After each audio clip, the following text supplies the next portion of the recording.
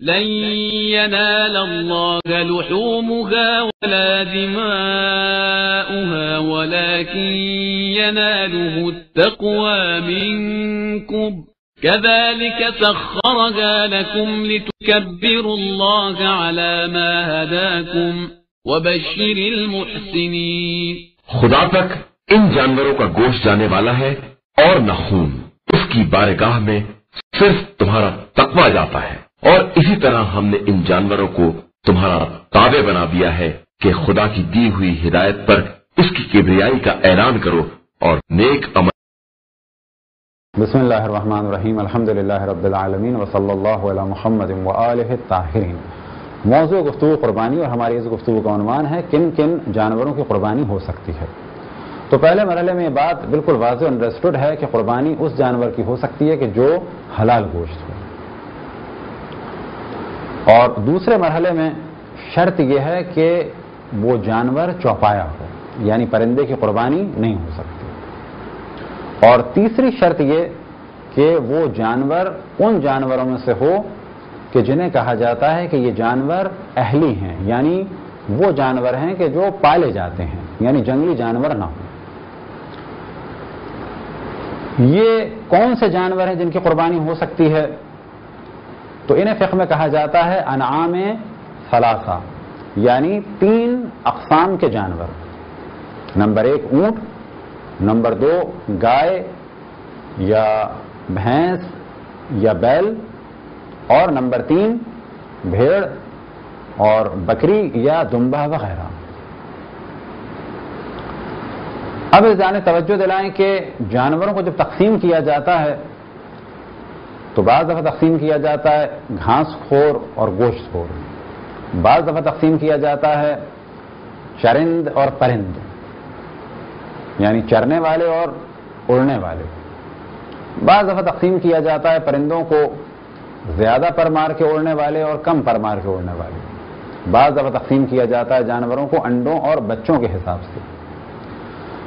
तो एक तकसीम बंदी है जानवरों की शक्लों के एतबार से। मिसाल के तौर पे बकरी और बकरा, भेड़, दुम्बा और हिरन इस कस्म के मुख्तलिफ़ जानवरों को कहा जाता है कि ये गोट फैमिली के हैं। बस कुर्बानी के लिए गोट फैमिली नहीं चलेगी, बल्कि खालिसतन गोट या शीप, यानी बकरी या भेड़ या दुम्बा, यानी हिरन या बारासिंगा या इस कस्म के दूसरे जानवरों की या जंगली बकरे की कुर्बानी नहीं हो सकती। इसी तरह से गाय या भैंस की और बैल की कुर्बानी हो सकती है, नील गाय की कुर्बानी नहीं हो सकती।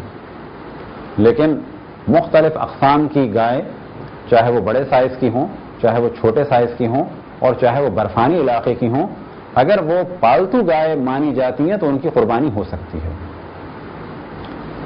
ऊँट फैमिली के यानी कैमिल फैमिली के अफराद ज़्यादा नहीं हैं। कैमिल फैमिली में फ़कत एक जानवर आता है कि जो जनूबी अमेरिका, ब्राज़ील वगैरह की जानब पाया जाता है उसे कहते हैं लामा, जो शक्ल में और गर्दन में और पाँव के एतबार से ऊँट से बहुत ज़्यादा शबाहत रखता है, लेकिन वो ऊँट नहीं है।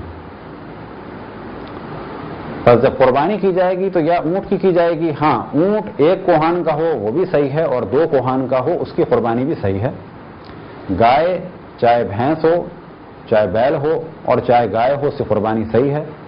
और बकरी या बकरा या भेड़ या दुम्बा, इनमें से किसी की भी कुर्बानी सही है। बस हिरन या जंगली जानवर और दीगर जितने भी अकसाम की उनकी कुर्बानी सही नहीं है। खुदावन तबारक वाली से दुआ है कि बेहक मोहम्मद वाल मोहम्मद हमें अपनी अपने रसूल, अपनी हजतों खसूस इमाम ज़मान की मार्फत और इतात की तोफ़ी अता फ़रमाए। वसल महमद वाल ताहिर।